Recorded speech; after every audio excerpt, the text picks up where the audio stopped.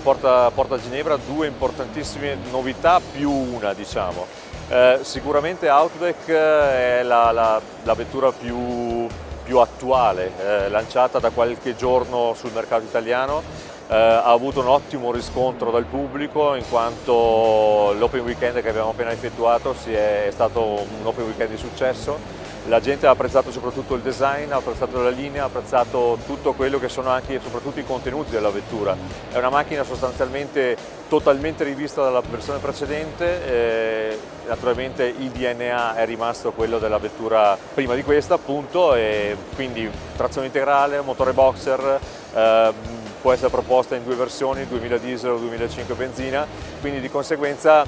tutte le peculiarità più importanti della vettura precedente sono state riproposte per questa vettura che però naturalmente eh, è stata rivista per eh, aumentare il comfort della vettura, per diminuire i consumi ma soprattutto perché, affinché la vettura sia una vettura molto più fruibile rispetto a quella precedente. Per fare questo i tecnici della nostra, di nostra casa madre si sono basati soprattutto da, dalle informazioni che venivano dai clienti precedenti, vale a dire da coloro che avevano in qualche modo approcciato il nostro brand, avevano scelto la nostra vettura, la nostra uh, auto precedente,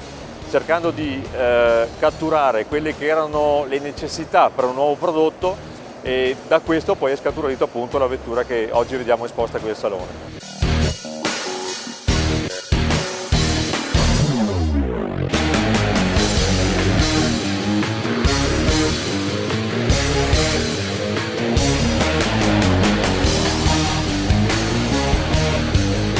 Seconda novità, che se vogliamo eh, forse anche la prima novità, in quanto la vedremo solamente alla fine dell'anno nel mercato europeo e anche naturalmente nel mercato italiano, è rappresentata dalla Leborg. Leborg eh, è l'acronimo di Legacy eh, Evolution Touring, è una vettura che in qualche modo prende il posto della Legacy precedente, Station Wagon precedente, che casa madre ha deciso di produrre solamente per il mercato americano nella versione 4 porte, nella versione sedan, eh, ora questa vettura naturalmente si propone in maniera differente da quello che era Legacy Station Wagon precedente, in quanto si vuole dare una connotazione ben precisa, una connotazione molto più sportiva, molto più dinamica a quello che era il prodotto Station Wagon di prima.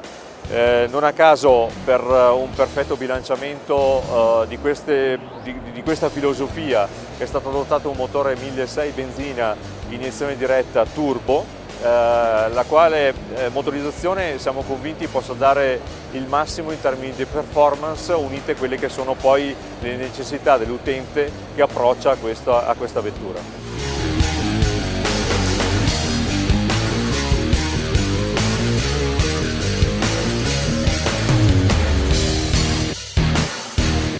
L'altra novità, eh, anche se in tono leggermente inferiore, è rappresentata dalla Forester Diesel con il cambio automatico, vale a dire il nostro Lineartronic. Anche qui è un prodotto che per il nostro mercato è sicuramente un prodotto molto interessante. Ancora una volta facciamo le cose in maniera diversa rispetto ai nostri competitors, quindi il cambio Lineartronic, vale a dire a variazione continua, viene proposto ora con la motorizzazione diesel appunto per il nostro SUV. Eh, è un prodotto che aspettavamo, un prodotto che soprattutto i nostri dealer stavano aspettando e quindi di conseguenza adesso pensiamo di avere una gamma assolutamente completa in termini per quanto riguarda sia le motorizzazioni ma anche la proposta dei cambi automatici.